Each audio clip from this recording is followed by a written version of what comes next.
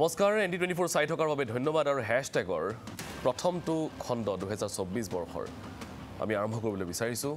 আৰু হেছটেগৰ আজি প্ৰথমটো খণ্ড আমি কিছু ইতিবাচক কথা নতুন চিন্তাধাৰাৰে আগবঢ়াবলৈ চেষ্টা কৰিম। কাৰণ দশক দশক ধৰি কিছুমান শব্দ শুনি শুনি হয়তো আমাৰ দৰে আপোনালোকৰ বহুতৰে অতিষ্ঠও লাগিছে।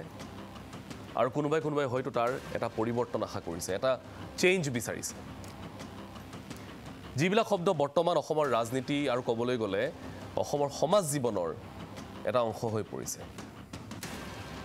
চুক্তি যুক্তি ৰক্ষা কবচ সংজ্ঞা খিলঞ্জীয়া বিভাজন হিন্দু মুছলমান বিদেশী সাৰ্বভৌমত্ব স্বাধীন দফা আৰু কিমান শব্দ। দশক দশক ধৰি আমি জন্ম হোৱাৰ আগৰ পৰাই এতিয়ালৈকে অমীমাংসিত। এইবিলাক শব্দ কৈ কৈ বহু নেতা হ'ল বহুতৰে জীৱন ধ্বংস হ'ল বহুতেই প্ৰাণো হেৰুৱালে। আৰু বহুতে এতিয়া এটা নিৰাপদ দূৰত্বত বহি আছে। নিৰ্বিঘ্নে জীৱন উপভোগ কৰি আছে। কোনোবা আলোচনালৈ আহিল কোনোবাই জংঘলৰ পৰাই গৰজি আছে। কিন্তু ডাঙৰ কথাটো কি জানেনে? এইবিলাকৰ পৰা কোনে কি পালে অসমখনৰ কিমান লোকচান হ'ল? ইমান বছৰ আকুৰ গোজ হৈ থাকি ইমান বছৰ তথাকথিত সংগ্ৰাম কৰি অৱশেষত কিছুমানে আঁঠু ল'লে। কাৰ্যক্ষেত্ৰত একোৱেই হোৱা নাই। আৰু এইবোৰেৰে একো নহ'বও। কিন্তু দুখৰ কথাটো এইটোৱেই যে এতিয়াও এতিয়াও এই শব্দবিলাকৰ প্ৰচলন চলিয়েই আছে। এতিয়াও আশা দেখুৱাই আছে এতিয়াও দোকান চলিয়েই আছে। আকৌ ইতিহাসৰেই পুনৰাবৃত্তি হ'বলৈ গৈ আছে। কাৰোবাৰ অভীষ্ট সিদ্ধিৰ বাবে যিয়ে যেনেকৈ বিচাৰে তেনেকৈ আমাক ভাবিবলৈ বাধ্য কৰিছে। যিয়ে যেনেকৈ দেখিব বিচাৰে তেনেকৈ আমাক দেখুৱাবলৈ চেষ্টা কৰিছে। যাৰ ফলাফল এটা বৃহৎ শূন্য। সেইকাৰণে বিশেষকৈ নতুন প্ৰজন্মটোৰ মন বান্ধিবৰ এয়া উচিত সময়। অমুকে কি বিচাৰে তমুকে কি বিচাৰে সেইটো ডাঙৰ কথা নহয়। সেইবোৰ সকলো বাদ। এতিয়াৰ পৰা চিন্তা কৰিব লাগিব। অসমে কি বিচাৰে? চাওক কালিৰ দিনটোত বিভিন্ন প্ৰসংগত মুখ্যমন্ত্ৰীয়ে সংবাদ মাধ্যমৰ সন্মুখলৈ আহি কেতবোৰ মন্তব্য কৰিছিল। মুখ্যমন্ত্ৰীৰ মন্তব্যৰ সৈতে বহুতৰে কথা মিলিবও পাৰে বহুতৰে নিমিলিবও পাৰে। কিন্তু মুখ্যমন্ত্ৰীয়ে কি ক'লে বহুদিনীয়া কেতবোৰ শব্দক লৈ বহুদিনীয়া কেতবোৰ বিবাদক লৈ শুনাবলৈ বিচাৰিছোঁ Yet in Assam, we are in such a condition that we don't have the definition of Assamese also. I mean, so, it is your problem. Moi, that is not my problem. The result of assembly election will itself say, okay, this is the definition of Assamese people. When 2026 assembly election will be will happen, you will count the names of the people who are electing from 96 constituency. Then you will know who are the Assamese. I am only telling you with lot of authority that in 96 constituency only those people can win who leave Assam for two, three hundred years. What beyond definition you are looking for? অসমত কি হৈছিলে বৰক্ষেত্ৰীটো বেয়া হ'ল বৰক্ষেত্ৰীৰ পৰা লাহেকৈ হাজোটো বেয়া হৈ গ'ল কেনেকৈ হাজোটো বেয়া হৈ গ'ল? কাৰণ হাজোত চৰকাৰী মাটি আছিল চৰ আছিলে। গতিকে বৰক্ষেত্ৰীৰ পৰা যোনেই মানুহ আহিলে তাৰ হাজোৰ ভোটাৰ লিষ্টত নাম লিখিয়াই দিলে। বৰক্ষেত্ৰীত কমপ্লিট কৰি ল'লে কৈ হাজোলৈকে আহিলে। এতিয়া চৰকাৰী মাটি দখল কৰি থাকিলে বা বনভূমি দখল কৰিলে অৰ্ডিনাৰিলি ভোটাৰ ভোটৰ নামটো আপুনি চেঞ্জ কৰিব নোৱাৰে। আপুনি ভোটাৰ হ'ব কিন্তু অৰিজিনেল সমষ্টিটোত ভোটাৰ হৈ থাকিব। ভোটাৰ অধিকাৰ আপোনাৰ কাটা নাযায়। But it will be in your original constituency চেঙাৰ পৰা সি গুৱাহাটীত ভোটাধিকাৰ হ'ব নোৱাৰে সি চেঙাতেই থাকিব লাগিব ভোট লৈ মানকাছাৰৰ পৰা আহি সি হাজোত থাকিব নোৱাৰে সি মানকাছাৰতে থাকিব লাগিব যেতিয়ালৈকে হাজোত বিয়া বাৰু মেদি পট্টা আদি লৈ কেৰেক্টাৰিষ্টিক লোকসভাত পাছ হ'ব গোটেইকেইটা কেৰেক্টাৰিষ্টিক যদি সি একুৱেৰ কৰিব নোৱাৰে চ' অসমীয়া জাতিৰ ৰাজনৈতিক সংৰক্ষণত ইয়াতকৈ ডাঙৰ হিউজ এচিভমেণ্ট কেতিয়াও হোৱা নাই। চ' মই আলফাৰ প্ৰটক ফেকশ্যনক ধন্যবাদ জনাম যে যি কাম আমি বহুত ক্লজ ছিক্স অমুক তমুক বহুত কৰি কৰিও আমি কৰিব পৰা নাছিলোঁ। They have achieved it in one stroke within the constitutional limit Asomiya মানুহে পাব পৰা highest level of protection this accord has ensured finally দুটা আৰু ক্লজ আছে। এটা হ'ল লেণ্ড লেণ্ডৰ ক্ষেত্ৰতো এই একৰ্ডখনে এটা নতুন দৃষ্টিভংগী আনিলে। যদি আমি আউটকাম চাব যাওঁ তেতিয়াহ'লে নাইণ্টি ছিক্স ছিট অসমীয়া মানুহৰ বাবে সুৰক্ষিত হয়। কোন জিকিব? বেলেগ কথা। BJP Congress A G P কোন জিকিব? বেলেগ কথা। নাইণ্টি ছিক্স ছিটত এতিয়া কেৱল শ শ বছৰ ধৰি অসমত বাস কৰা অসমীয়া লোকহে ইলেকশ্যনত জিকিব পাৰিব। বাকী কোনো জিকিব নোৱাৰে। এইটো হ'ল প্ৰাপ্তি।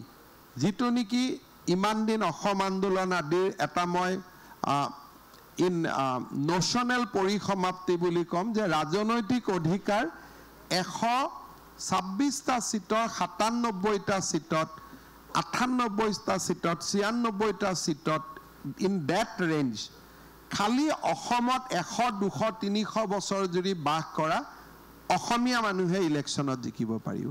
কিন্তু যদি আপোনাকো ফোন কৰে মোকো ফোন কৰে সকলোকে ফোন কৰে কথা পাতে মই পুলিচকো কৈছোঁ যে কাৰোবাৰ লগত পৰেশ বৰুৱাই ফোনত কথা পাতিলে don't treat him let him speak to at least ten thousand people in Assam তেওঁ গম পাব যে অসমৰ মানুহৰ মানসিকতা ক'ত অসমৰ মানুহৰ কষ্টটো ক'ত অসমৰ মানুহৰ বেদনা ক'ত। অসমৰ মানুহে কি বিচাৰিছে? আজি গোটেই নতুন অসমীয়া ল'ৰাবিলাকে আমাক কি লিখে? যে দাদা যেনে তেনে অসমত আই টি ইণ্ডাষ্ট্ৰী এটা আনক। কোনেওতো হোৱাটছআপ নিদিয়ে যে স্বাধীন অসম আনক বুলি। যে ত্ৰিছ বছৰ আগত যিজন পৰেশ বৰুৱা অসমৰ পৰা ওলাই গৈছিল তেওঁ যদি ত্ৰিছ বছৰ পিছত অসমত আহে তেওঁ চাৰ্টাৰ অফ ডিমাণ্ড নিজে নিজে চেঞ্জ হৈ যাব। কাৰণ আজি ধুবুৰীত গৈ কোনখন স্বাধীন অসম ল'ব? মানকাছাৰত গৈ কোনখন স্বাধীন অসম ল'ব? আজি আপুনি এইকাৰণে মই ভাবোঁ যে we have believe that constant discussion negotiation and opening up channels with Paresh Baruah আজি নহয় কালি আমাক ৰিজাল্ট দিব।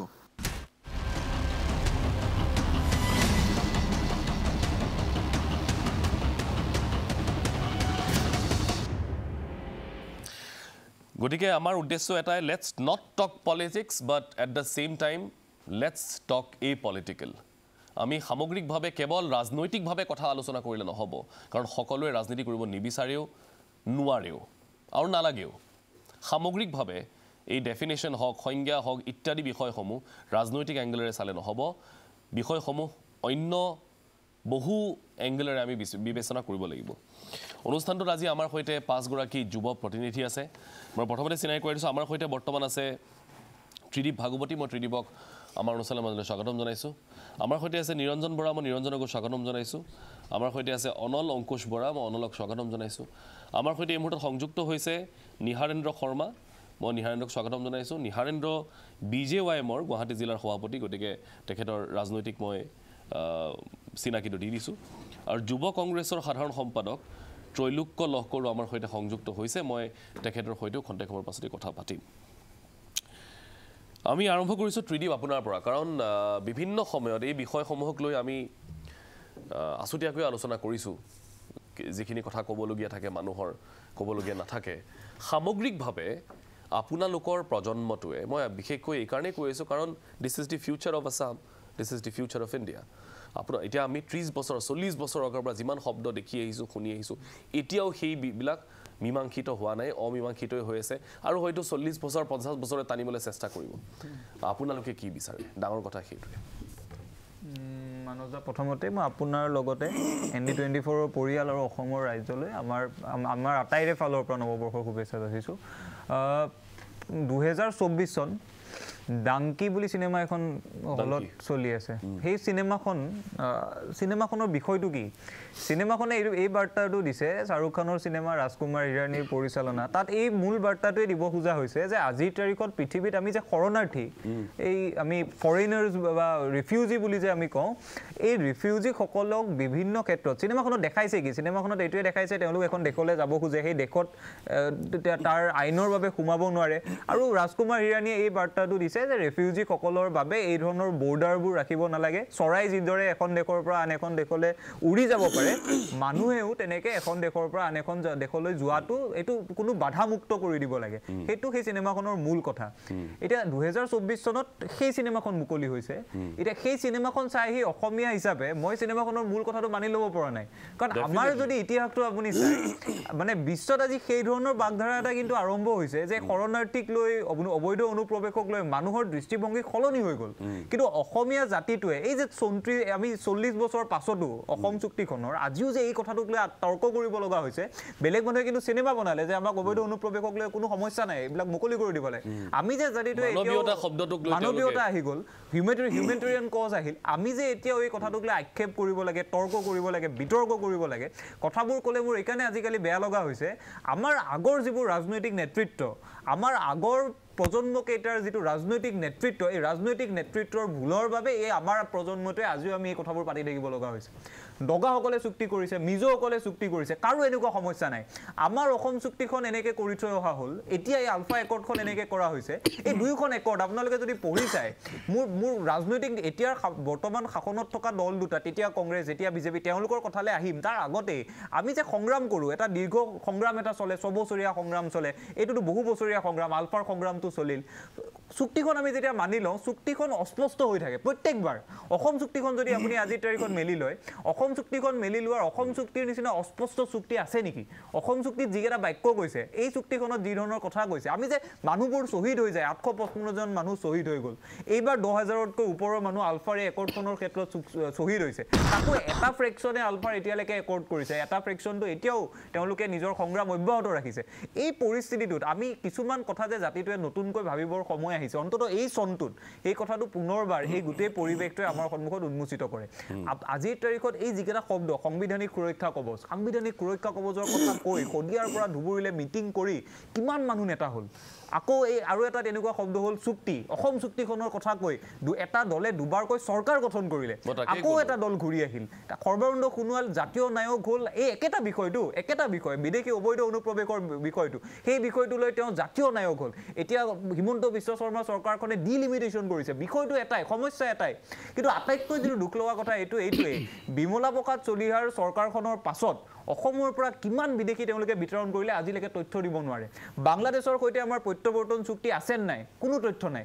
অঁ বৰ্ডাৰকেইটা চিল হৈছে। গোটেইখন চৰকাৰে কাম কৰিছে বৰ্ডাৰ চিল কৰিছে।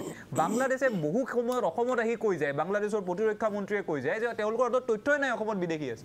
এই যে বিদেশীখিনি আমি এন আৰ চি কৰাৰ পাছত চিনাক্ত কৰিম তেওঁলোকক আমি সাগৰত দলিয়াই দিম নে ইয়াতে কেনেকৈ ৰাখিম তাৰ কোনো ৰোডমেপ নাই। গতিকে এই বিষয়টো কেৱল টক শ্ব'ত কথা পতা এই বিষয়টো কেৱল নিৰ্বাচন আহিলে ডাঙৰ ডাঙৰ শিৰ ফুলাই ভাষণ মৰা। এই গোটেই বিষয়টো নিৰ্বাচনী ইস্তাহাৰত এইদৰে তেওঁলোকে সীমাবদ্ধ কৰি ৰাখে। বহু বছৰ আগতে যেতিয়া কা আন্দোলন চলি আছিল তেতিয়া আমি কটনৰ পৰা প্ৰায় এটা কথা কৈছিলোঁ যে আমাক এই ৰাজনৈতিক দলবোৰে অসমীয়া জাতিটোক ফুটবলৰ দৰে ব্যৱহাৰ কৰে। কংগ্ৰেছ যেতিয়া শাসনত থাকে কংগ্ৰেছে অবৈধ মুছলমান বাংলাদেশীৰ শৰণাপন্ন হৈ অসমীয়া মানুহখিনিক এটা ফুটবলৰ দৰে কিক মাৰে। সেই কিকটো যেতিয়া বিজেপি শাসনলৈ আহে হিন্দু বাংলাদেশীৰ শৰণাপন্ন হৈ তেওঁলোকে আকৌ এটা কিক মাৰে। মাজত অসমীয়া মানুহখিনি দুলি থাকে আৰু আমাৰ যিটো জাতীয়তাবাদী শিবিৰ এই ভগ্নপ্ৰায় জাতীয়তাবাদী শিবিৰটোৱে সেই গোটেই বিষয়সমূহ ৰাইজৰ ওচৰলৈ লৈ যোৱাত ব্যৰ্থ হয় যাৰ বাবে পুনৰবাৰ এই ধৰণৰ চক্ৰ এটা চলি থাকে। গতিকে মোৰ শেষ কথাটো এইটোৱেই এই বৰ্ষটোত অন্ততঃ এই ধৰণৰ যিবোৰ আমাৰ চলি থকা দৰ্শন এই জাতীয়তা এই আমাৰ চুক্তি সাংবিধানিক সুৰক্ষা কৱচ এই কথাবোৰৰ পৰা আঁতৰি আহি আমি কৰ্মমুখী জাতীয়তাবাদৰ কথা পাতিব লাগে। যিটো আমাৰ জাতীয়তাবাদৰ প্ৰকৃত চৰিত্ৰ আছিল। মানুহে সদায় ৰাজনৈতিক জাতীয়তাবাদৰ কথা পাতে কিন্তু অসমীয়া জাতীয়তাবাদত মণিৰাম দেৱানেই কৰ্ম কৰ্ম কৰ্মৰ জাতীয়তাবাদ আনিছে। অম্বিকাগিৰিয়ে আনিছে। সেই কথাবোৰ আমি ঘূৰাই আনিব লাগে। আমি হাতে কামে কৰি সেইদৰে কেৱল। ৰাজনৈতিকভাৱে কথাবিলাক পাতিলেই নহ'ব। সেইকাৰণে মই এতিয়া এতিয়া ডুবাইৰ কথা যদি আমি কওঁ ডুবাইখন কি আছিল আজিৰ তাৰিখত কি হৈ গ'ল অতি কম স্পেন অফ টাইমত আৰু এতিয়া অসমে দুহেজাৰ চৌব্বিছত আহি নাইনটিন এইটিজত যিটো কথা পাতি আছিল আজিও সেইটোৱেই পাতি আছে। ঠিক আছে অট্টালিকা হৈছে ঠিক আছে ৰাস্তা হৈছে বেলেগ কথা। কিন্তু পাতি আছোঁ আমি তাকেই। এতিয়া টকশ্ব'ত বহি দুহেজাৰ চৌব্বিছৰ দুই দুই জানুৱাৰী তাৰিখে আজি আকৌ সেই একেখিনি কথাকে পাতিবলগীয়া হৈছে। কাৰণ নিৰ্বাচন আহি আছে এই বিষয়সমূহ আকৌ জ্বলি উঠিছে। নিৰঞ্জন আপোনাৰ ওচৰলৈ আহিছোঁ। নমস্কাৰ। সকলোকে নৱবৰ্ষৰ শুভেচ্ছা আৰু ভোগালী বিহুৰ শুভেচ্ছা আগতীয়াকৈ জ্ঞাপন কৰিছোঁ। ঊনৈছশ ঊনাশী চনৰ সাত এপ্ৰিলত ৰংঘৰৰ বাকৰিত স্বাধীন অসমৰ সপোন দেখুৱাই অসমৰ ডেকা গাভৰুসকলক একেলগ কৰি পেলাই যি সশস্ত্ৰ সংগ্ৰাম সেই সময়ত আৰম্ভ কৰিলে আৰু সেই সশস্ত্ৰ সংগ্ৰামৰ পৰিণতি যে এনেকুৱা কিছুমান মানে আগফালে দুৱাৰ দাং পিছফালে ধুবাং বাং নিচিনা কথা কিছুমান লৈ পেলাই যে চুক্তি হ'ব সেই কথাটো আমি সপোনতো ভবা নাছিলোঁ। মই আজি মোৰ বয়স খুব বেছি হৈছে যদি তেইছ বা চৌবিছ বছৰ। কিন্তু মোৰ দেউতাহঁতৰ সময়ৰ পৰাই এইটো জ্বলন্ত সমস্যা। মই মোৰ দেউতাৰ পৰা শুনিছিলোঁ যে তেওঁলোকে কেনেদৰে মেট্ৰিকৰ পৰীক্ষা দিবলৈ গৈছিল কেনেদৰে তেওঁলোকে দুবছৰ তিনি বছৰ ক্লাছ টেনতেই পঢ়িছিল। ৰাতি বিহুৱে সংক্ৰান্তিয়ে ঘৰত থাকিবলৈ পোৱা নাছিল পথাৰে পথাৰে দৌৰি ফুৰিব লগা হৈছিল। কুঁহিয়াৰৰ তলত জোপা লৈ পেলাই ঘৰৰ ল'ৰাকেইটা বাচি থাকিব লগা হৈছিল সেই সময়ৰ সেনাবাহিনীৰ দপদপনিৰ প্ৰকোপত। এয়া কেৱল এখন ঘৰৰ কাহিনী নহয় অসমৰ শদিয়াৰ পৰা ধুবুৰীলৈকে ইমূৰৰ পৰা সিমূৰলৈকে। স্বাধীন অসমৰ আকাংক্ষাত সাৰ্বভৌমত্বৰ আকাংক্ষাত নিজৰ স্বাধিকাৰৰ স্পৃহাত যিখন সংগ্ৰাম কৰিছিলে সেই সংগ্ৰামখনৰ পৰিণতি যে আজি এনেকুৱা হ'ব ইমান বেমেজালিৰ হ'ব ইমান অস্পষ্ট হ'ব সেয়া কোনো কল্পনাই কৰা নাছিলে। ইতিহাসৰ পৰা মানুহে ভুল শিক্ষা ল'ব লাগে। অসম চুক্তিখনত যেতিয়া স্বাক্ষৰ কৰা হৈছিলে সেই সময়ত মানুহে অসম চুক্তি স্বাক্ষৰ কৰাৰ পিছত সমালোচনা কৰিছিল যে তাত একো ৰিজিট পইণ্ট নাছিলে। কিন্তু ৰিজিট পইণ্ট নাছিল যদিও তাত ক্লজ ছিক্স ক্লজ ফাইভকেইটা আছিলে। অন্ততঃ সেইকেইটাও যদি প্ৰকৃতাৰ্থত ৰূপায়ণ কৰিলেহেঁতেন আজি হয়তো এই সমস্যাখিনিও নাথাকিলহেঁতেন। কিন্তু সেই চুক্তিখনৰ পৰাও এই সশস্ত্ৰ সংগ্ৰামীখিনিয়ে একো শিক্ষা নল'লে। মই এই তেওঁলোকে কিনো একৰ্ডখন ছাইন কৰিছিলে এইখন মই পঢ়ি চালোঁ। একৈছ পৃষ্ঠাৰ এইখন আৰু ইয়াত প্ৰায় দহ বাৰ দফীয়া কিছুমান কথা আছে। এই কথাখিনিত প্ৰথমতে যিটো কথা উল্লেখ কৰিছে যে ইণ্ডিজিনিয়াছ পিপুলৰ তেওঁলোকে ছেফগাৰ্ডৰ কথা কৈছে। এতিয়া ইণ্ডিজিনিয়াছ পিপুল কোনখিনি? খিলঞ্জীয়া মানুহ কোন? কোনখিনি? কাক তেওঁলোকে ডিটেক্ট কৰিছে খিলঞ্জীয়া বুলি? মুখ্যমন্ত্ৰীয়ে কৈছে ছাব্বিছৰ নিৰ্বাচনত অসমীয়াৰ সংজ্ঞাটো স্পষ্ট হৈ পৰিব। এইটো। কেনেকৈ ছাব্বিছৰ নিৰ্বাচনত চাওক। মুখ্যমন্ত্ৰীয়ে কথাটো ৰাজনৈতিক কথা। সেইটো শিলৰ ৰেখা হ'ব নোৱাৰে। সেইটো লিগেল কথা নহয়। তাৰ লিগেল বাউণ্ডেৰী লিগেল ডেফিনেশ্যন নাই যে ছাব্বিছৰ ইলেকশ্যনত যোন যোন জিকিছে য'ত য'ত জিকিছে তাত যিমানখিনি মানুহ আছে সেইখিনি ইণ্ডিজিনিয়াছ পিপুল সেইটো কেনেকৈ সংজ্ঞা হ'ব পাৰে? তেওঁ কেমেৰাত কৈ দিছে অসমৰ কোনোবা কোনোবা মানুহে শুনি লৈছে। সেইটো তেওঁলোকৰ কথা সেইটো এটা পলিটিক কথা। পলিটিক্সৰ কথা মেৰুকৰণৰ কথা মানুহক আভুৱা ভৰাৰ কথা। কিন্তু আমি যোনখিনিয়ে বস্তুটো চাইছোঁ তাত আমি কি পাইছোঁ? যে ইণ্ডিজিনিয়াছ মানুহখিনিৰ ৰক্ষণাবেক্ষণৰ কথা কৈছে। ইয়াত ইণ্ডিজিনিয়াছ মানুহ কোনখিনি সেইটোৱে ডিফাইন নহ'ল। যিটো ডিফল্ট ৰৈ গৈছিলে অসম চুক্তিত। সেই একেই ভুলটো এইখন চুক্তিত। কি স্বাক্ষৰ কৰিলে দিল্লীত গৈ পেলাই? একেই ভুল আকৌ যে ৰ'ল? কম সময়ৰ ভিতৰত খুব সোনকালে যিকেইটা ভুল সেই শব্দকেইটা ভুল অসম চুক্তিত আছিল সেই একেই ভুল এইখন চুক্তিত কিয় হ'ল? কোনো টাইম বাউণ্ড কিয় নাই? ইমান দিনৰ ভিতৰত কৰিম বুলি।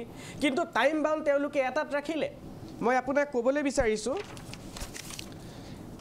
ৰিহেবিলেশ্যন এণ্ড ছেটেলমেণ্টৰ যিটো তেওঁলোকে দফা দিছে সেই দফাটোত কৈছে যে ULFA cell এডজিউৰ the path of violence give up all arms এমিউনিশ্যন and ডিছবেণ্ড the arm organisation within one month of signing of the memorandum of M O এছখন M O এছখন sign কৰাৰ এমাহৰ ভিতৰত।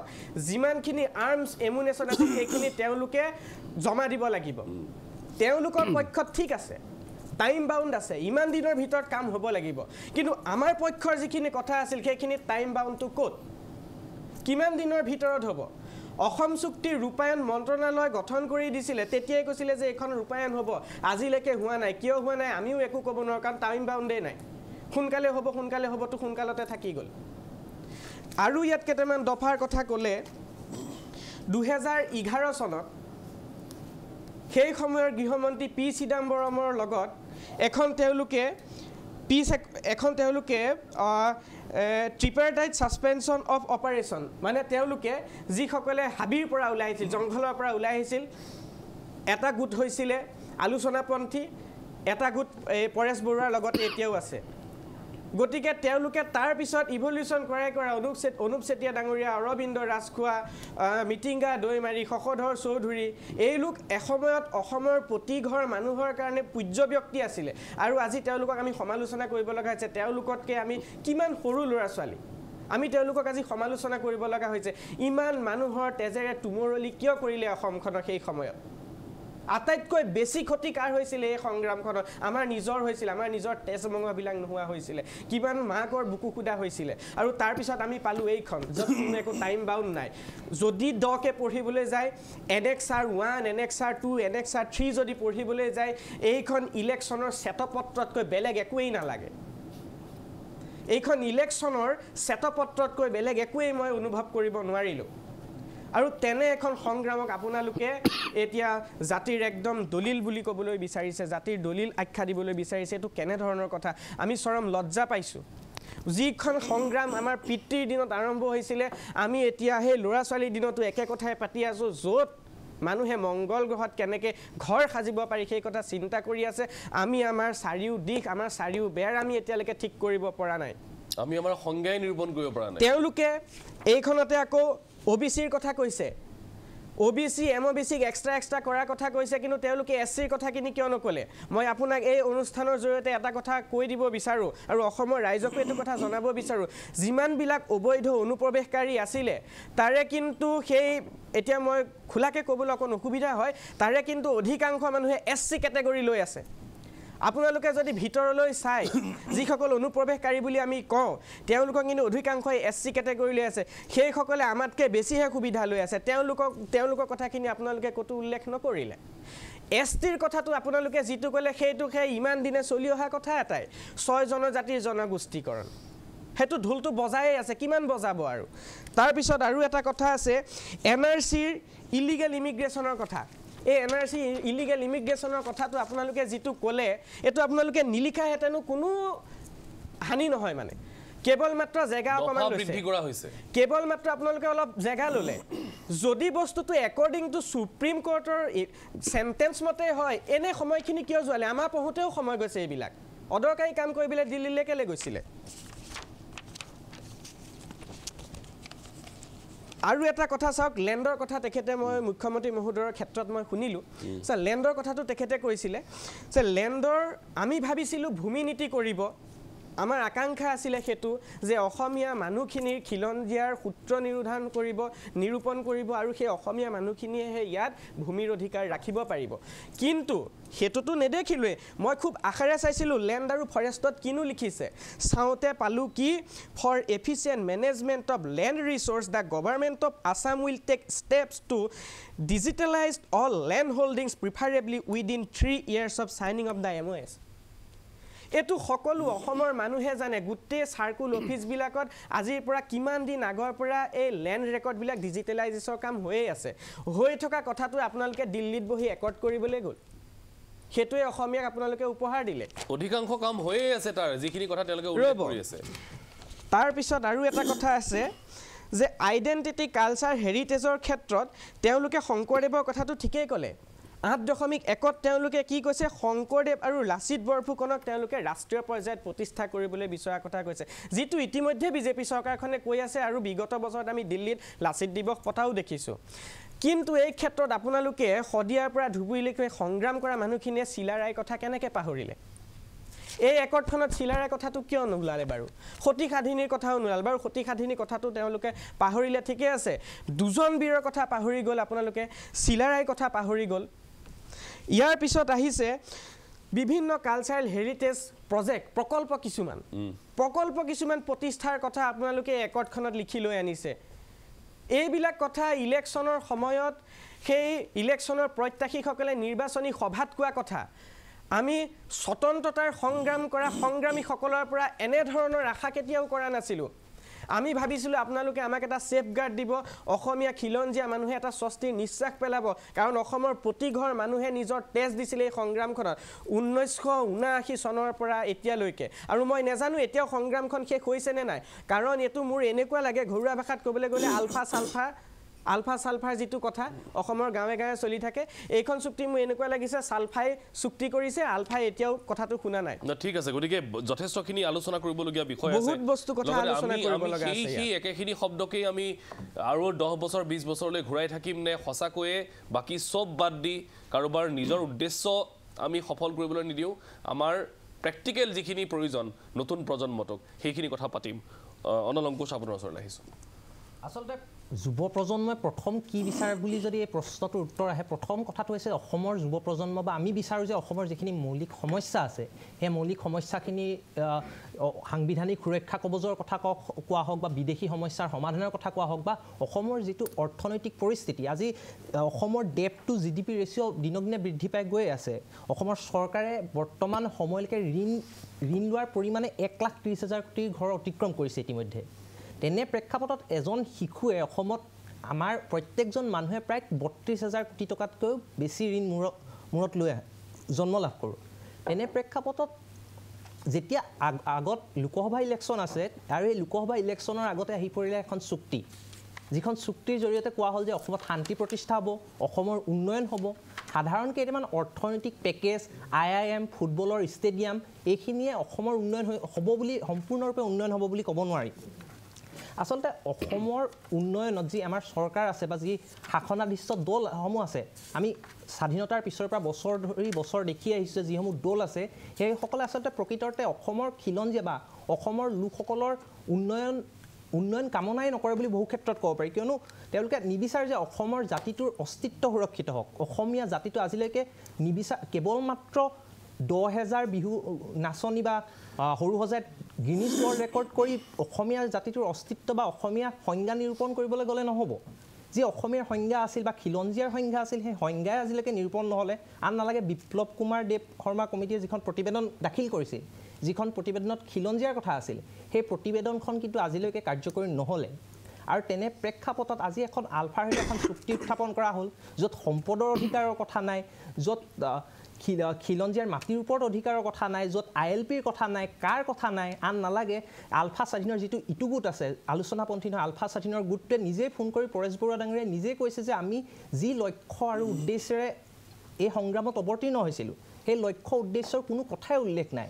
শশ চৌধুৰীয়ে কৈছে শশ চৌধুৰীয়ে কৈছে যে আমি এখন সশস্ত্ৰ সংগ্ৰাম কৰিবলৈ ওলাই গৈছিলোঁ আমি হাৰি গ'লোঁ।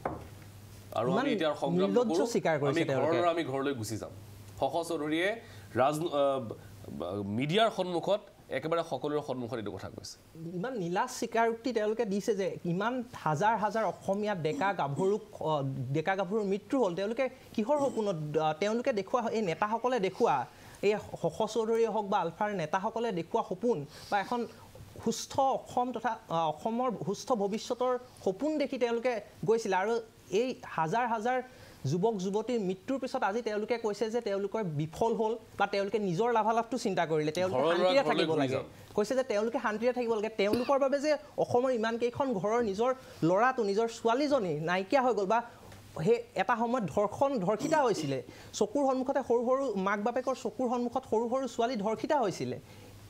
ইমান ত্যাগ অসমৰ ৰাইজে স্বীকাৰ কৰিলে আৰু তাৰপিছত তেওঁলোকে আজি আহি কৈছে যে তেওঁলোকৰ তেওঁলোকৰ ভুল হ'ল তেওঁলোকে বিফল হ'ল তেওঁলোকে ঘৰত শান্তিৰে থাকিব বিচাৰে ঊনসত্তৰ বছৰ হ'ল নিজৰ নিজৰ কথাটো চিন্তা কৰি তেওঁলোকে গোটেই অসমীয়া জাতিটোকে প্ৰবঞ্চনা কৰিলে মূলতঃ। মূলতঃ আমি দেখিছোঁ যে অসম চুক্তিখনত অন্ততঃ যদিও এতিয়ালৈকে কাৰ্যকৰী হোৱা নাই তাত ৰাজনৈতিক কথা আছিলে কিছুমান যে অসমত সাংবিধানিক ৰক্ষা কৱচ লাগিব বা এই ধৰণৰ সম্পদৰ অধিকাৰ এই কথাখিনি আছিলে। কিন্তু যিখন আলফাৰ চুক্তি তাত কোনো ধৰণৰ ৰাজনৈতিক অধিকাৰ সাব্যস্ত কৰাৰ কোনো ধৰণৰ কথাই নাই। তাত আছে অৰ্থনৈতিক পাঁচ হাজাৰ কোটি টকীয়া পেকেজ আই আই এমৰ কথা আছে ফুটবল ষ্টেডিয়ামৰ কথা আছে ভূমি ডিজিটেলাইজেশ্যনৰ কথা আছে ডিজিটেল ইণ্ডিয়াৰ যুগত ডিজিটেলাইজেশ্যন ভূমিৰ নথিপত্ৰ ডিজিটেলাইজেশ্যন কৰাটো একো ডাঙৰ কথা নহয়। এন আই এলৰ এক্সটেনশ্যনৰ কথা ক'লে যিটো কাম আগতে হৈয়ে আছে। আচলতে এনেকুৱা হৈছে যে মানে অসমৰ যি শাসনাধিষ্ঠ দলটোৰ পাপেট টাইপত গৈ দিল্লীত এখন চুক্তি কৰি আহিলে আৰু আগন্তুক যি লোকসভা নিৰ্বাচন লোকসভা নিৰ্বাচনৰ সময়ত মাষ্টাৰ ষ্ট্ৰক হিচাপে হিমন্ত বিশ্ব শৰ্মাই কেৱল এই এই চুক্তিখনক ব্যৱহাৰ কৰাহে আমাৰ পৰিলক্ষিত হৈছে। কিন্তু আমি কি বিচাৰোঁ? আমি বিচাৰোঁ অসমৰ অৰ্থনৈতিক উন্নয়ন অসমৰ শৈক্ষিক উন্নয়ন আৰু অসমীয়া জাতিটোৰ যিসমূহ মূল সমস্যা বা মৌলিক সমস্যা তাৰ সমাধানহে বিচাৰোঁ কিন্তু। সমাধান সূত্ৰটো সকলোৱে বিচাৰিছে। মই এই মুহূৰ্তত এটা বিৰতি ল'ম। বিৰতিৰ পিছত মই বিশেষকৈ নিহাৰেন্দ্ৰৰ ওচৰলৈ যাম। কাৰণ অভিযোগ উত্থাপিত হৈছে। এই যিখন চুক্তিৰ কথা কোৱা হৈছে। এই চুক্তিখন আচলতে এখন ৰাজনৈতিক আহিলা হিচাপে ব্যৱহাৰ কৰা বুলি কোৱা হৈছে। কাৰণ সন্মুখত লোকসভা নিৰ্বাচন গতিকে তাৰ আগতে এটা মাষ্টাৰ ষ্ট্ৰক খেলিব লাগিব আৰু সেইকাৰণে ততাতৈয়াকৈ সকলোকে একত্ৰিত কৰি এখন চুক্তিত চহী কৰোৱা বুলি তেওঁলোকে দাবী উত্থাপিত কৰিছে। কিমান দূৰ সত্য আমি জানিম। এটা চমু বাণিজ্যিক বিৰতিৰ পাছত।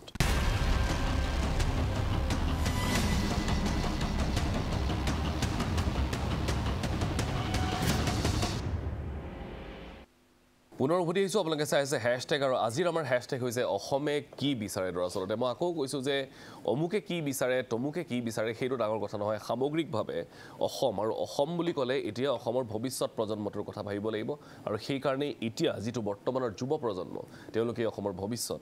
এই বিষয়ে যিসকলে ৰাজনৈতিক ক্ষেত্ৰত আছে অৰাজনৈতিক ক্ষেত্ৰত আছে শৈক্ষিক ক্ষেত্ৰত আছে সামাজিক ক্ষেত্ৰৰ সৈতে জড়িত হৈ আছে লিটাৰেচাৰত আছে সাহিত্য ক্ষেত্ৰত আছে সকলোৰে মতামত খুব ইম্পৰ্টেণ্ট খুব গুৰুত্বপূৰ্ণ। নিহানেন্দ্ৰ শৰ্মা আপোনাৰ ওচৰলৈ আহিছোঁ। সামগ্ৰিকভাৱে এই চুক্তিখনক লৈ মানুহে সমালোচনা কৰিছে। কেৱল চুক্তিয়ে নহয় বিভিন্ন বিষয়ত লৈ। যি ধৰণৰ এতিয়া এটা পৰিৱেশ আহি পৰিছে। আমি আকৌ কৈছোঁ আশীত যি আলোচনা কৰি আছিলোঁ নব্বৈটো তাকেই কৰিলোঁ দুহেজাৰটো তাকেই কৰিলোঁ এতিয়া দুহেজাৰ চৌব্বিছ চনতো সেই তাকেই কৰি আছোঁ। কাৰোবাৰ ৰাজনৈতিক অভীষ্ট সিদ্ধি কাৰোবাৰ ভৱিষ্যত সুৰক্ষা যিয়েই নহওক কিয়। আপোনালোক পাছৰ প্ৰজন্ম এতিয়া যিসকলে ৰাজনীতি কৰি আছে আপুনি যিহেতু সক্ৰিয় ৰাজনীতিলৈ আহিছেই গতিকে এই বেটছটো যোৱাৰ পাছত হয়তো আপোনালোকৰে পাল। তেতিয়াও আপোনালোকে যুঁজিব লাগিব এখণ্ড মই সেইকাৰণে কৈছোঁ যে সামগ্ৰিকভাৱে যি হৈ আছে ঠিক হৈ আছে সঠিক পথত গৈ আছেনে? ধন্যবাদ মানস দা পোনপ্ৰথমতে আপোনালোকৰ জৰিয়তে সমূহ অসমবাসীক নৱবৰ্ষৰ শুভেচ্ছা জ্ঞাপন কৰিছোঁ। যদিও ৰাজনৈতিক ক্ষেত্ৰখনৰ পৰা আহিছোঁ তথাপি এজন অসমীয়া যুৱক হিচাপে। একেবাৰে আজিৰ যুৱ প্ৰজন্মই আচলতে বিচাৰে কি আজিৰ অসমে বিচাৰে কি বুলি যদি প্ৰশ্ন কৰা যায় বহুত কিবা কিবি নকয় আমি একৰ অকল এষাৰ কথা ক'ম। যে আজিৰ যুৱ প্ৰজন্মই বিচাৰে তেওঁলোকে আৰু তেওঁলোকৰ আহিব লগা যি এক প্ৰজন্ম তেওঁলোকে এখন এনেকুৱা অসমত উশাহ লওক য'ত নিজৰ জাতিটোৰ অস্তিত্বৰ কোনো সংকট নাথাকে য'ত ৰাজনৈতিকভাৱে লগতে সাংস্কৃতিকভাৱে লগতে জীৱিকাৰ দিশতো স্বচ্ছ আৰু। স্বাৱলম্বিত আৰু লগতে সুৰক্ষিত এক জাতি হিচাপে তেওঁলোকে গৌৰৱ কৰিব পাৰে। এনেকুৱা এখন অসম আমি বিচাৰোঁ। আৰু আৰম্ভণিৰ পৰা আমি এইটো কথাৰ ওপৰতে কৈ আছোঁ যে আজি আশীৰ দশকৰ পৰা যিখন আন্দোলন ঊনৈছশ ঊনাশী চনৰ সাত এপ্ৰিল তাৰিখে ৰংঘৰ বাকৰিৰ পৰা আৰম্ভ হৈছিল কালক্ৰমত গৈ মই নাজানো সেইখন আন্দোলন ঠিক পথত থাকিল বা পথভ্ৰষ্ট হ'ল মই এই বিষয়ে একো ক'বলৈ নাযাওঁ। কিন্তু তাৰ ফলত জীয়াটো ভুগিব লগা হ'ল অসমৰ ৰাইজে। হয়তো অসমৰ প্ৰতিটো পৰিয়ালৰ কোনোবা নহয় কোনোবা এজনে ইয়াৰ কাৰণে জীয়াটো ভুগিব লগা হ'ল। সৰুৰ পৰা আমিও দেখি আহিছোঁ আৰু আমিও বিচাৰিছিলোঁ যে এই যিটো সমস্যা সদায় এইটোৰ ওপৰতে আলোচনা কৰি থাকিব নালাগে। কাৰণ দেশখন যেতিয়া আগুৱাই গৈছে সমাজখন যেতিয়া আগুৱাই গৈছে ইছ্যু আহি থাকিব। আমি গঠনমূলক ইছ্যুক লৈ আলোচনা কৰিব লাগে। আমি ক'ৰবাত নহয় ক'ৰবাত এইবিলাক ইছ্যুক লৈয়ে যেন সাৱটি ধৰি আছিলোঁ। আৰু সেইকাৰণে আমিও বিচাৰিছিলোঁ যে এনেকুৱা ধৰণৰ সমস্যাবিলাক শেষ হওক। বাৰটা বছৰৰ অন্ততে হওক এই চুক্তিখন স্বাক্ষৰিত হ'ল। আৰু যিকোনো কামত যেতিয়া গঠনমূলক কাম এটা কৰিবলৈ যাওঁ তাত বিভিন্ন ধৰণৰ সমালোচনা থাকিবই। কোনোবাই ভাল পাব কোনোবাই বেয়া পাব। কিন্তু আৰু এটা প্ৰশ্ন ইয়াতে উত্থাপিত হৈছিল যে নিৰ্বাচন আহি আছে কাৰণে বিজেপি চৰকাৰে ডক্টৰ হিমন্ত বিশ্ব শৰ্মা ডাঙৰীয়া চৰকাৰখনে এই পদক্ষেপটো গ্ৰহণ কৰিছে। এবাৰ এটা প্ৰশ্ন সকলোকে কৰিছোঁ। কিছুদিন ইমানখিনি গঠনমূলক কামৰ মাজত যদি ডক্টৰ হিমন্ত বিশ্ব শৰ্মা ডাঙৰীয়া আৰু চৰকাৰখনে কিছুদিন যদি আৰু এই টপিকটো যদি পেলাই থ'লে হ'ল কাৰোবাৰ কিবা ক'ব লগা প্ৰশ্ন থাকিলে নেকি? নাই। আজি কঠোৰ সমালোচনাৰ সন্মুখীন হৈছে। তথাপি আমি আজিৰ তাৰিখত এইখিনি পদক্ষেপ ল'বলৈ আজি আমি আগবাঢ়িলোঁ। আজি চৰকাৰখন আগবাঢ়িল। কিছুদিন পেলাই থোৱা হ'লে হয়তো এইটোকে কৈ থাকিলহেঁতেন কিন্তু নিৰ্বাচনৰ পিছত কৰিব পৰা গ'লহেঁতেন। কিন্তু নাই কৰা। কি হ'ব ফল কি নহ'ব এবাৰো চিন্তা নকৰি পেলাই ডক্টৰ হিমন্ত বিশ্ব শৰ্মা ডাঙৰীয়াই কেন্দ্ৰ চৰকাৰলৈ আলোচনা কৰি এই যিখন চুক্তি চুক্তিখন। হোৱাত ভাল পাইছে নিহানেন্দ্ৰ কিন্তু কথাটো হৈছে হৈছে ঠিক আছে কিন্তু চুক্তিখন সঠিক দিশত হ'লনে? যিটো উদ্দেশ্যৰে এই সংগ্ৰামখন হৈছিল সেই উদ্দেশ্য সফল হ'লনে বা সাৰ্থক হ'লনে? সেইটোহে ডাঙৰ কথা। সেইকাৰণে কৈছে বৰ দৌৰা দৌৰিকৈ মুখ্যমন্ত্ৰীগৰাকীয়ে বা চৰকাৰখনে এই কামটো কৰিলে নেকি? যাতে নিৰ্বাচনৰ সভাত গৈ তেওঁলোকে আৰু এটা নিজৰ কামৰ তালিকাত এটা অন্তৰ্ভুক্ত কৰিব। তেনেকুৱা প্ৰশ্ন। তেনেকুৱা একো কথা নহয় দাদা। তেনেকুৱা এইকাৰণে নহয় কাৰণ দৌৰা দৌৰিকৈ একো হোৱা নাই। বাৰটা বছৰ লাগিছে এইখিনি আলোচনা কৰিবলৈ। দৌৰা দৌৰিকৈ একো হোৱা নাই। তেখেতসকলে আমাৰ আলোচনামন্ত্ৰী নেতৃবৃন্দই যিখিনি আমাক ক্লজ দিছিলে সেইখিনিৰ ওপৰতে আলোচনা হৈছে। নতুনকৈ ইয়াত একো ভৰোৱা হোৱা নাই। তেখেতসকলে ৰাজনৈতিকভাৱে অসমীয়া জাতিটো সুৰক্ষিত হোৱাটো বিচাৰিছিল। ৰাজনীতিকভাৱে ইয়াত সুৰক্ষিত কৰা হৈছে। তেওঁলোকে সাংস্কৃতিকভাৱে সুৰক্ষাৰ কথা কৈছিলে তেওঁলোকে গঠনমূলক কামৰ কথা কৈছিলে সেইখিনি কৰা হৈছে। গতিকে মই নাভাবোঁ যে অঁ নিশ্চিতভাৱে ইয়াত সমালোচনা হৈছে হয়তো পৰৱৰ্তী পৰ্যায়ত যিহেতু যোৱাকালি অসমৰ মাননীয় মুখ্যমন্ত্ৰী ডক্টৰ হিমন্ত বিশ্ব শৰ্মা ডাঙৰীয়াই কৈছে যে পৰেশ বৰুৱা ডাঙৰীয়া এদিন আহিব। আমি আশা কৰিম যে সেই তেখেতো আহিব এদিন মজি- মজিয়ালে।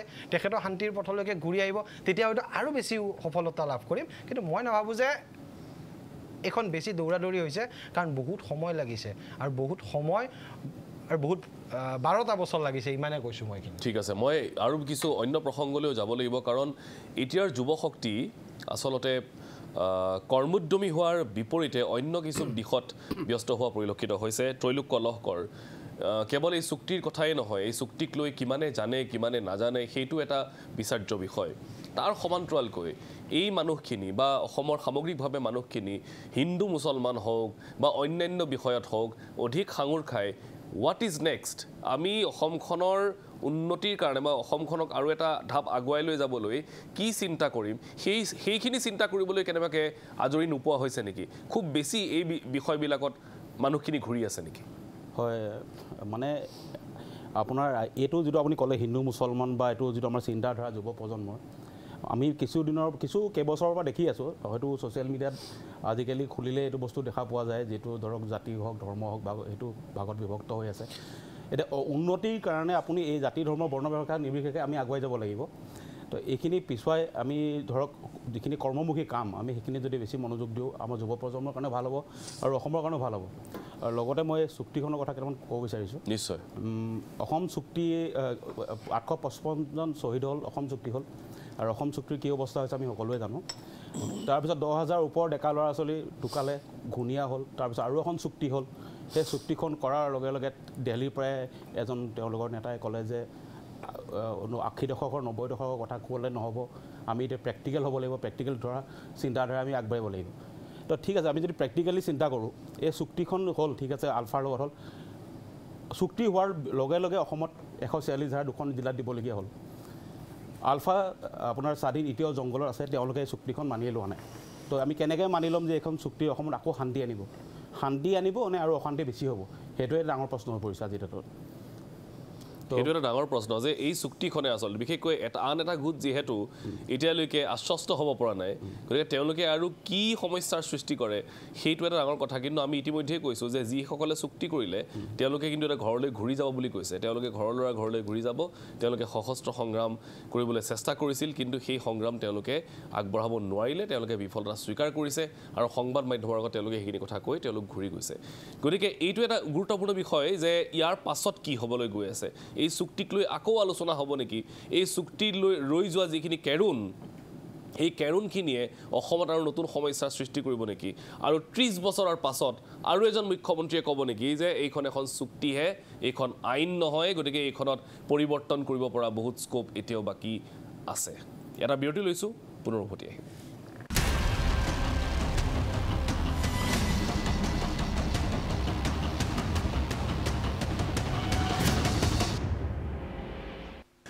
সকলোৰে পৰা ইতিমধ্যে আমি অপেনিং ৰিমাৰ্কছ লৈছোঁ। এতিয়া কথাটো হৈছে মূল বিষয়লৈ আহিছোঁ যে এনেকৈ থাকিলে অসমখনৰ ভৱিষ্যতটো কি হ'ব? কাৰণ ইতিমধ্যেই ব্ৰেইন ড্ৰেইন প্ৰক্ৰিয়াটো আৰম্ভ হৈছে। যিসকলে নিজৰ কামেৰে নিজৰ ব্ৰেইনেৰে যিনৰ নিজৰ মগজুৰে কাম কৰি তেওঁলোকে এখন ভাল নিজৰ এখন প্লেটফৰ্ম বনাবলৈ চেষ্টা কৰিছে তেনেকুৱা কিন্তু বহু ল'ৰা ছোৱালী অসমৰ পৰা ওলাই গৈছে।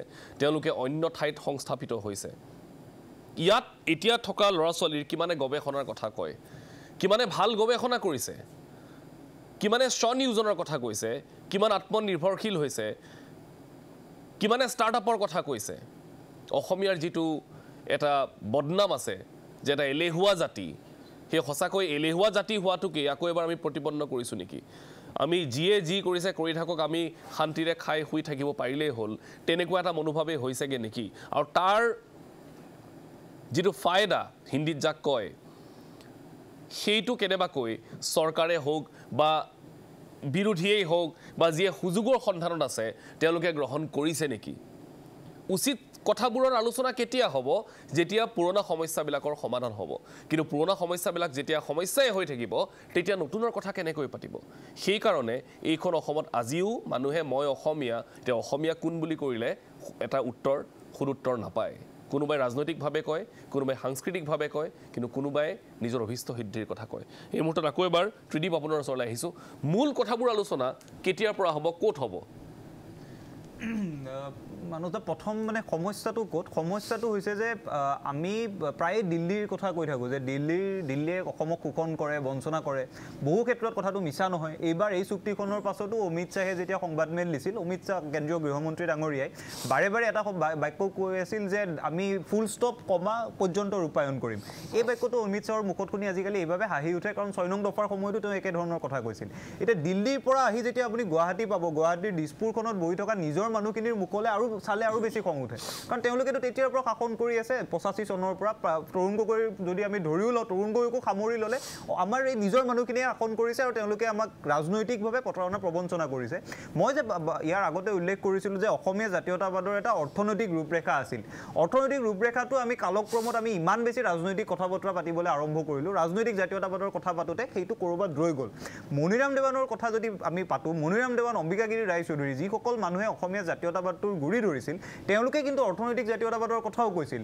মায়াবিনী কেমিকেল ৱৰ্কছ এই একেগৰাকী অম্বিকাগিৰিয়ে স্থাপন কৰিছিল যিগৰাকী অম্বিকাগিৰিয়ে ৰাজনৈতিক জাতীয়তাবাদৰ কথা কৈছে। গতিকে সেই সুৰটো অসমীয়া জাতীয়তাবাদত সদায় আছে। কটন কলেজৰ প্ৰতিষ্ঠাতা মাণিক চন্দ্ৰ বৰুৱাই সেই বাটটো তেতিয়াই দেখি দেখুৱাই থৈ গৈছে। গতিকে শৈক্ষিক জাতীয়তাবাদ এটাও আছে। এই গোটেই কথাবোৰ আমি পাহৰি কেৱল ৰাজনৈতিক জাতীয়তাবাদৰ পিছত জাতিটো ব্যস্ত হৈ আছে আৰু তাত এইবাবে আমি ব্যস্ত হৈ থাকিব লাগিল। কাৰণ আমি যিবোৰ মানুহে আমাৰ কথাবোৰ ক'ব বুলি দিল্লী দিছপুৰলৈ পঠিয়ালোঁ তেওঁলোকে হয় নাগপুৰৰ শৰণ লয় নহ'লে কংগ্ৰেছৰ হেডকোৱাৰ্টাৰৰ শৰণ লয়। নিজে যদি আঞ্চলিক চৰকাৰ এখন হয় কিছু বছৰ পাছতেই টকা পইচাৰ লোভত পৰি নিজৰ সকলো কথা বাদ দি আদৰ্শ বাদ দি তেওঁলোকে সেই দৌৰ যিটো নিগনি দৌৰ তাত দৌৰা আৰম্ভ কৰে। এতিয়া মূল কথাটো কি যে আমাৰ সন্মুখত এই গোটেই বৰ্ষটোত আটাইতকৈ ভয় লগা কথাটো মানস দা এইটোৱেই মই আশা কৰিম চৰকাৰখনে এইবোৰ কথাতে গুৰুত্ব দিয়া উচিত।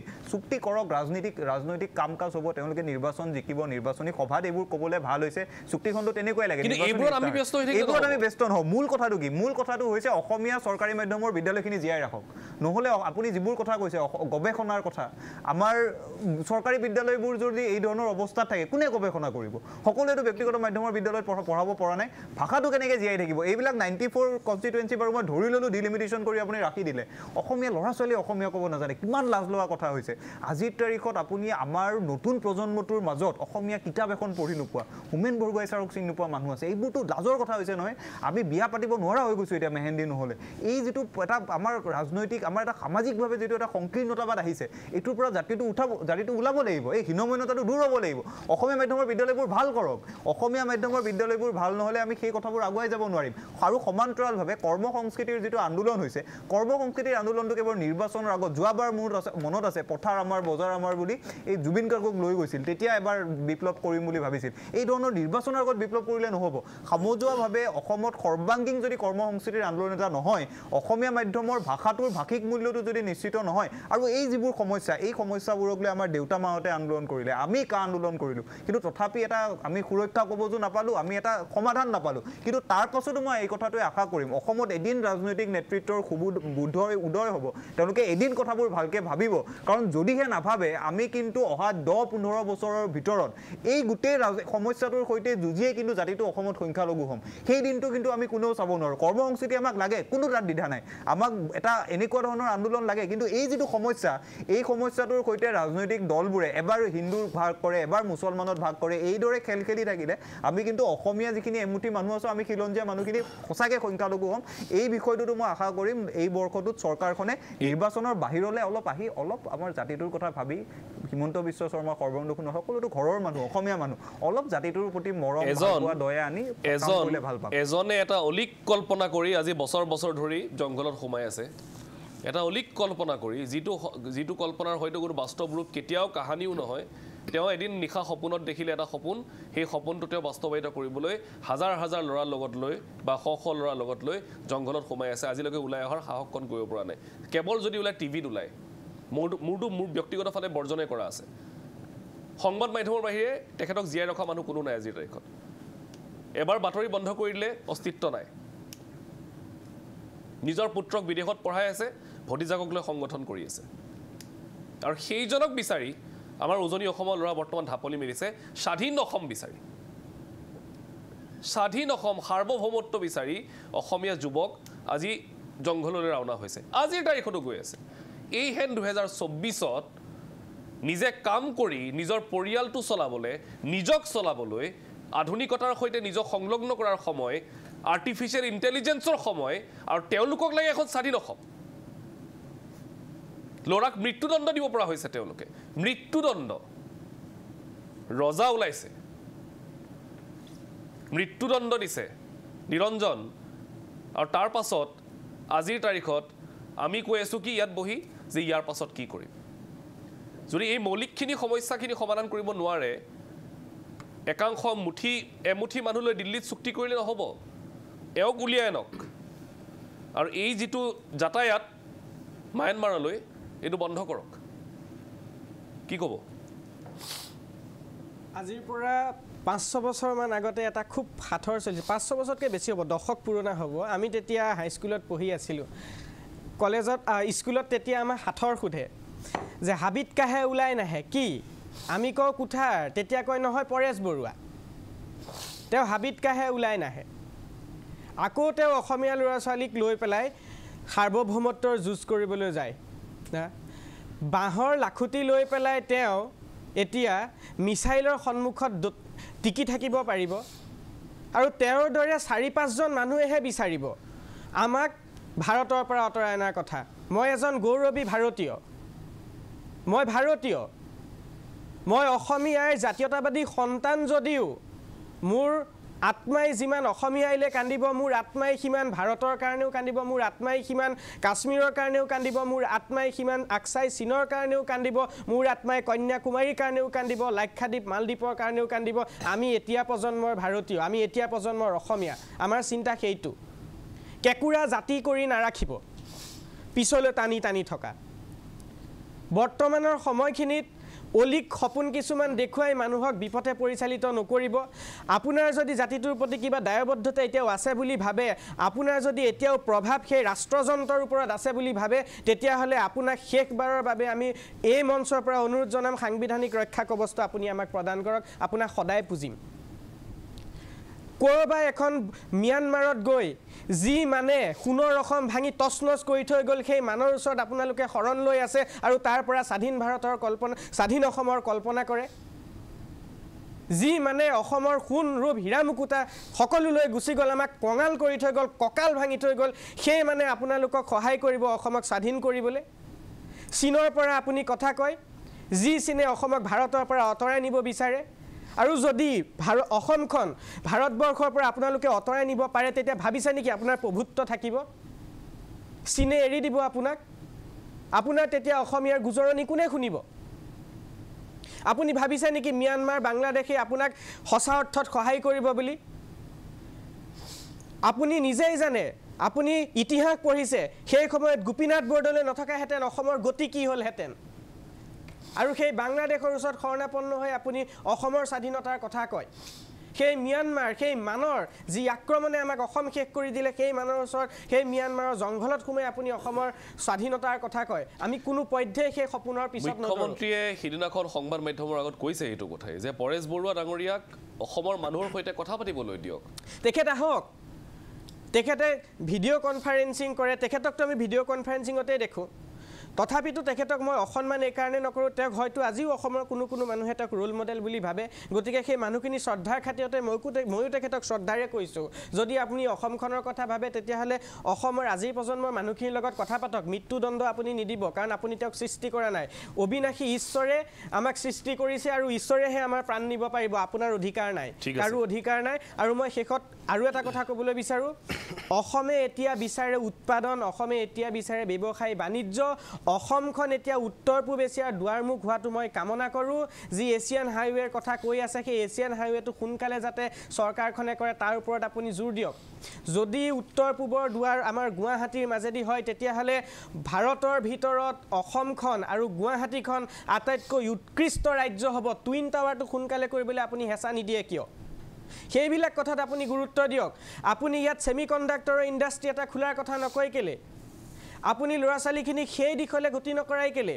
পথাৰ আমাৰ বুলি কৈ পেলাই নাঙলডাললৈ কিয় দেখুৱাই দিয়ে? নাঙলডাল নেদেখুৱাব ট্ৰেক্টৰখন দেখুৱাওক। এতিয়া নাঙলৰ দিন গ'ল এতিয়া ট্ৰেক্টৰখন ল'ব লাগিব। নহ'লে টিকিব পাৰিব এই বিশ্বায়নৰ যুগত নাঙলেৰে দুটা গৰু লৈ পেলাই হাল বাই বাই আপুনি খেতি কৰি খুৱাব পাৰিব। সেইটোৱে কথা যে বিশ্বায়নৰ যুগত আচলতে এতিয়া প্ৰযুক্তিৰ যুগত এ আইৰ যুগত মানুহে এই ধৰণৰ কথাক লৈ যেতিয়া ব্যস্ত হৈ থাকিব অসমীয়া মানুহখিনিক তেনেকৈ আগবঢ়াওক। এই মগজটো আচলতে তেওঁলোকৰ এতিয়া ৰিফাইন কৰিব লাগিব কাৰণ এতিয়া যদি এনেধৰণে আৱেগিকভাৱে এই ধৰণৰ সিদ্ধান্ত হৈ থাকে তেতিয়াহ'লে মই অনল আপোনাৰ ওচৰলৈ আহিছোঁ। আপোনালোকে এতিয়া পঢ়া শুনা কৰি আছে ইয়াৰ পাছৰ ষ্টেপটো কি হ'ব? আপোনালোকে এতিয়া ল পঢ়ি আছে ল'ৰ পাছত আপোনালোকে হয়তো পষ্ট গ্ৰেজুৱেশ্যন কৰিব বা আপোনালোকে হাই কোৰ্টত বা কোৰ্টত আপোনালোকে সোমাবলৈ চেষ্টা কৰিব এগৰাকী অধিবক্তা হ'বলৈ চেষ্টা কৰিব। কিন্তু তাৰ বাহিৰেও ক্ষেত্ৰটো বহুত আছে। ক্ষেত্ৰ বহুত আছে সংস্থাপনৰ বাদ আছে হাজাৰ হাজাৰ ইঞ্জিনিয়াৰ ঘূৰি আহিবলগীয়া হৈছে। তেওঁলোকে আজি আত্মনিয়োজনৰ কথা পতা নাই আৰু আহি তেওঁলোকে আজি বিমৰ্ষপদে ঘৰৰ ভিতৰত সোমাই থাকিবলগীয়া হৈছে অসমৰ ল'ৰা ছোৱালীখিনি মানস দা এই যিখন চুক্তি হ'ল এই চুক্তিখন এটা পক্ষে কিন্তু ভাল হৈছে। কাৰণ যি সশস্ত্ৰ সংগ্ৰাম বা যি সাৰ্বভৌমত্বৰ সপোন লৈ সপোন দেখুওৱাৰ বাবে অসমৰ এতিয়াও বহু যুৱ প্ৰজন্মৰ বহু ল'ৰা বা ছোৱালী এতিয়াও এই আলফা বা এই ধৰণৰ সশস্ত্ৰ সংগঠনলৈ ঢাপলি মেলি আছে। তাৰ যে ফলাফল এটা শূন্য বা ফলাফল কেৱল মাত্ৰ সাধাৰণ দুটামান পেকেজ এই কথাটো বুজি বুজি পোৱা হৈছে। আৰু এই চুক্তিখনে আমাৰ যুৱ প্ৰজন্মৰ যিসকলক এতিয়াও তেওঁলোকে ভাবে যে এখন স্বাধীন অসম বা কিছু সপোন লৈ অসমৰ ভালপোৱাৰ খাতিৰত আহ, সশস্ত্ৰ সংগ্ৰামৰ পথলৈ যাব বিচাৰে তেওঁলোকৰ এই মনৰ পৰা সেই অলিক কল্পনাটো কিছু কিছু পক্ষে হ'লেও বা কিছু পৰিমাণে হ'লেও নাকচ কৰিব। এতিয়া যদি আমি ঘূৰি আহোঁ আমাৰ শৈক্ষিক দিশটোলৈ আমাৰ শিক্ষাৰ কথাই কওঁ আচলতে যি চলি থাকে আমাৰ শাসনাধিষ্ঠ দলেই হওক বা যোনটো দলেই নাথাকক আগতে কংগ্ৰেছৰ চৰকাৰ আছিল এতিয়া বিজেপিৰ চৰকাৰ আছিল কেৱল মাত্ৰ চমক সৃষ্টি কৰা ৰাজনীতিৰ জৰিয়তে কেৱল প্ৰকৃত সমস্যাসমূহক ঢাকি ৰখা হয়। আজি শিক্ষাৰ ক্ষেত্ৰত ইখনৰ পিছত সিখন বিশ্ববিদ্যালয়ৰ নাম ঘোষণা কৰা হৈছে। জে বি কলেজক বিশ্ববিদ্যালয় কৰা হৈছে নৰ্থ লখিমপুৰ কলেজক বিশ্ববিদ্যালয় কৰা হৈছে শেহতীয়াকৈ আঠখন কলেজক বিশ্ববিদ্যালয় কৰা হৈছে। কিন্তু তাৰ এই বিশ্ববিদ্যালয় কৰিলে ঠিকেই চমক সৃষ্টি কৰিলে ঠিকেই কিন্তু আন্তঃগাঁথনি আন্তঃগাঁথনিটো কেনেকুৱা? এখন বিশ্ববিদ্যালয় পৰ্যায়ৰ আন্তঃগাঁথনি হয়নে? সেই সেই দিশটো কোনে লক্ষ্য কৰিছে? আজি মাধৱদেৱ বিশ্ববিদ্যালয় আছে উত্তৰ লখিমপুৰত। কিন্তু মাধৱদেৱ বিশ্ববিদ্যালয়ৰ নাম কেইজনে জানে? আৰু কুমাৰ ভাস্কৰ বৰ্মা বিশ্ববিদ্যালয় আছে।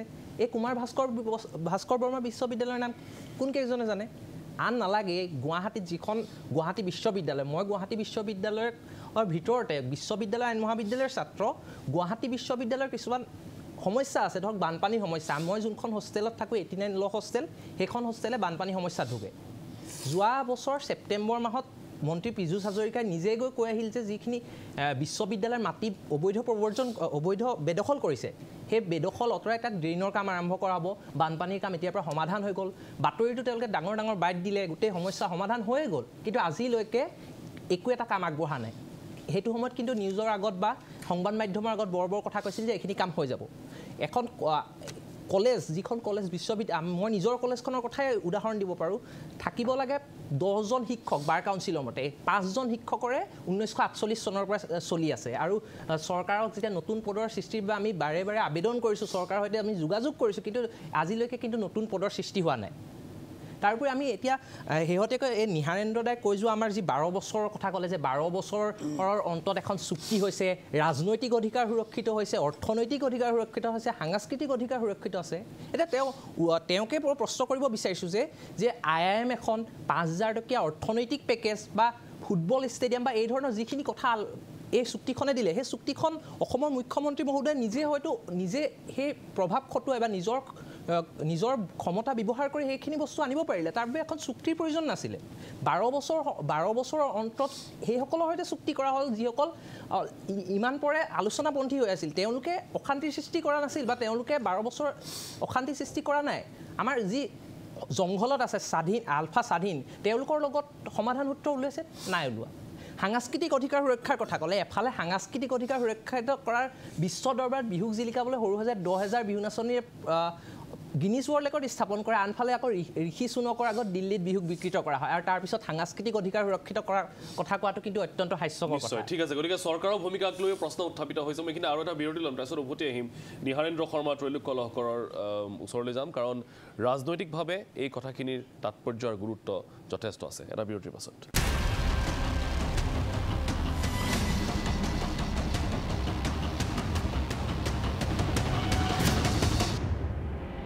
অনুষ্ঠানৰ শেষ অংশলৈ উভতি আহিছোঁ। প্ৰথমতে ত্ৰৈলোক কলহকৰ আপোনাৰ ওচৰলৈ আহিছোঁ। এতিয়া চৰকাৰখনে দাবী কৰি আছে যে দীৰ্ঘদিনীয়া সমস্যাসমূহ সমাধানৰ ক্ষেত্ৰত ৰাজ্য চৰকাৰে গুৰুত্বপূৰ্ণ ভূমিকা গ্ৰহণ কৰিছে। তেওঁলোকৰ সমস্যাসমূহ শেষ কৰিবলৈ পদক্ষেপ লৈছে আৰু তাত সফল হৈছে। আপুনি কি ভাবে যে ৰাজ্য চৰকাৰে সঁচাকৈয়ে এইখিনি কাম কৰিবলৈ সক্ষম হৈছে নে একমাত্ৰ নিৰ্বাচনী বৈতৰণি পাৰ কৰা এটা চমক? মানস দা যুক্তি সহকাৰে। আলোচনাখন যিটো আলোচনা হৈছে সেই আলোচনাৰ আৰম্ভণিত কংগ্ৰেছৰ দিনতে হৈছিল তৰুণ গগৈ ছাৰ ডাঙৰ দিনতে। কিন্তু এতিয়া মই আলোচ যিখন চুক্তি হ'ল এই চুক্তিখন দেখা পাই ভাইটি মোক কৈছে যে এটা বস্তু মোৰ ভাল লাগিছে এতিয়া যুৱ প্ৰজন্ম অন্ততঃ আৰু জংঘললৈ যোৱাৰ কথা চিন্তা নকৰে। দহ হাজাৰ যুৱক মৃত্যুৰ পিছত বেছি দহ হাজাৰকৈ বেছি হ'ব। পাঁচ হাজাৰ কোটি টকাৰ পেকেজ আই আই এম আপোনাৰ আৰু এখন বিশ্ববিদ্যালয় কিবা এখন দিছে আৰু কিবা কিবি দিছে ভালকৈ চোৱাই নাই মই চুক্তিখন। তো সেই সেইখিনি পাবৰ কাৰণে জংঘলত গৈ মৰিব নালাগে আৰু নিজৰ মানুহৰ হাততে। কোন মৰিছে কোন? আমাৰ ডেকা ল'ৰা মৰিছে। আকৌ এইফালেও আমাৰ মানুহে মৰিছে। পুলিচৰ মানুহখিনি আমাৰ নহয় জানো? তেওঁলোকে মৰিছে। আজি সেই দশক ইমান দশকৰ পৰা যিটো আলফা আৰু চৰকাৰৰ সংঘাত তাততো প্ৰশাসনৰ সংঘাত তাততো পুলিচৰ মানুহো বহুত মৰিছে। সেইখিনিও অসমীয়াই হয়।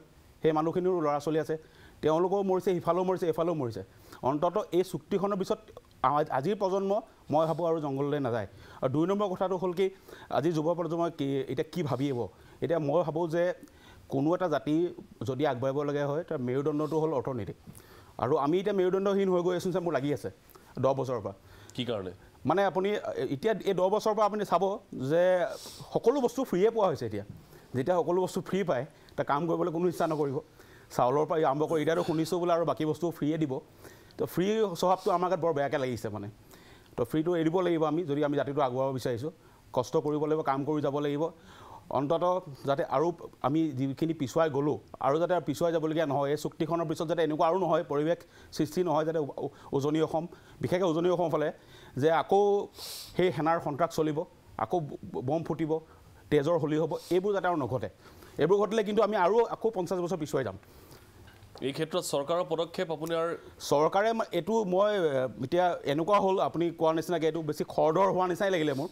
হয়তো ইলেকশ্যন আহি আছে এটা তেওঁলোকক টপিক লাগে আৰু এটা আমি এইটো কৰিলোঁ যেনেকৈ ৰাম মন্দিৰটো ইলেকশ্যনৰ আগে আগে কৰিছেই এইটো এতিয়া এটা আৰু এটা আৰু এটা তেওঁলোকৰ হেৰি বাঢ়িল যে অঁ আমি চুক্তিখনো কৰি দিলোঁ। কিন্তু এখন চুক্তি যোনে জানে তেওঁ মানে এখন একেবাৰে নাকা নাকচ কৰিব। কাৰণ কি ইয়াত চুক্তি বুলিবলৈ কিমান কষ্ট তেওঁলোকে ইমান বছৰ জংঘলত থাকি পেলাই এইখন চুক্তি কৰিবলৈ তেওঁ যোৱা নাছিল মই ভাবোঁ।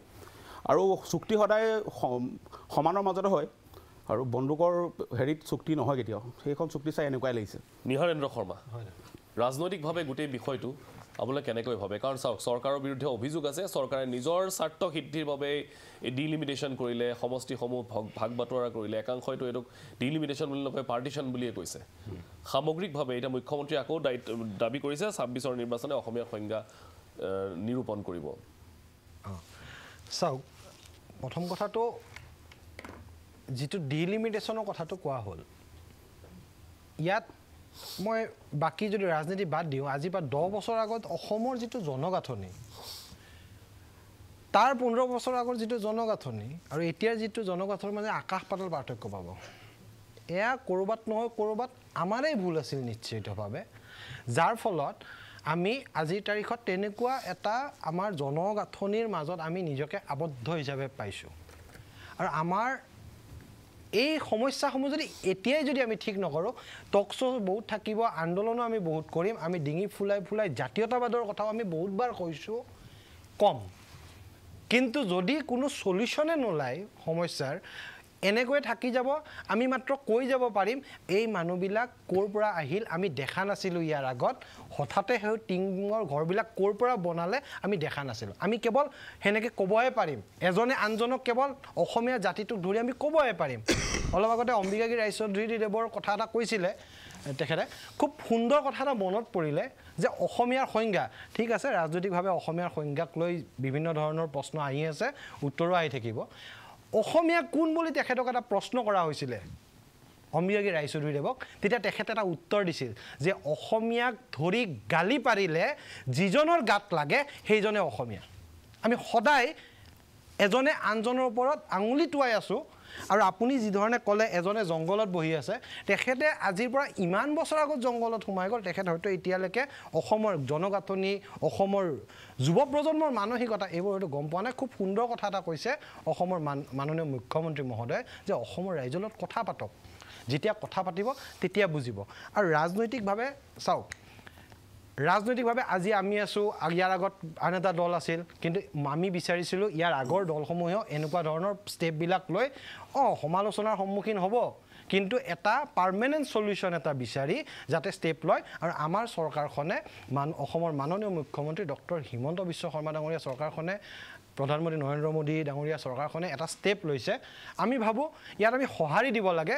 ক'ৰবাত যদি আপত্তি আছে তেনেহ'লে গঠনমূলক আমি পৰামৰ্শ দিব লাগে। কিন্তু এনেকুৱা ধৰণৰ ষ্টেপবিলাক লৈ হ'লেও অনাগত সময়ত সমস্যাবোৰ সমাধান হ'ব লাগে যাতে আমাৰ যুৱ প্ৰজন্মই আহি থকা প্ৰজন্মই বেলেগ চিন্তা কৰি অসমখনৰ কথা চিন্তা কৰিব পাৰে বেলেগ চিন্তা কৰি ভাৰতৰ কথা চিন্তা কৰিব পাৰে। নিশ্চয় মই ধন্যবাদ জ্ঞাপন কৰিছোঁ আজি আটাইকেইগৰাকী অতিথিক ত্ৰিদীপ নিৰঞ্জন অনলংকুশ লগতে নিহানেন্দ্ৰ ত্ৰৈলোক কথা ইমানেই যে এই যিটো কথা শেষত আমি ক'লোঁ যে এই বিছ ত্ৰিছ চল্লিছ পঞ্চাছ বছৰীয়া সমস্যাবিলাকৰ সমাধান হ'ব লাগে অন্ত পৰিব লাগে নহ'লে অসমে কিন্তু নতুন চিন্তা কৰিব নোৱাৰিব।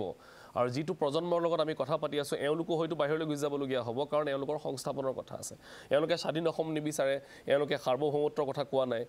এওঁলোকক লাগে যে অসমখনৰ অৰ্থনীতি আৰু নিজে কেনেকৈ তাৰ এটা উপাদান হ'ব পাৰে কেনেকৈ তেওঁলোকে এখন চহকী ৰাষ্ট্ৰৰ তেওঁলোকে এজন এজন ভাল নাগৰিক হ'ব পাৰে যিয়ে ভাতৰ কাৰণে যিয়ে ৰুটিৰ কাৰণে যিয়ে সংস্থাপনৰ কাৰণে যিয়ে পানীখিনিৰ কাৰণে যিয়ে বিজুলীৰ কাৰণে যুঁজ কৰিবলগীয়া নহয়। সেইটো বিৰাট ডাঙৰ আলোচনা আজিৰ তাৰিখত।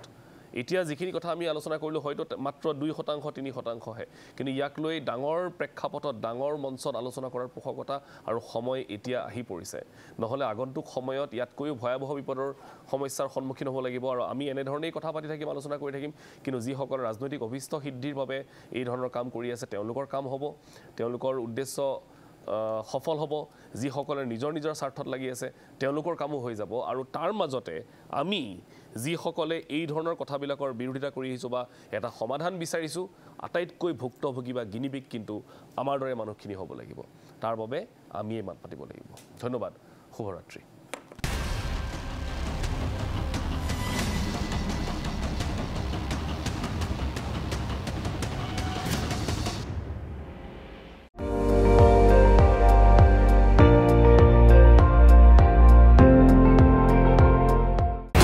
আপুনি চাই আছে এন ডি টুৱেণ্টি ফ'ৰ।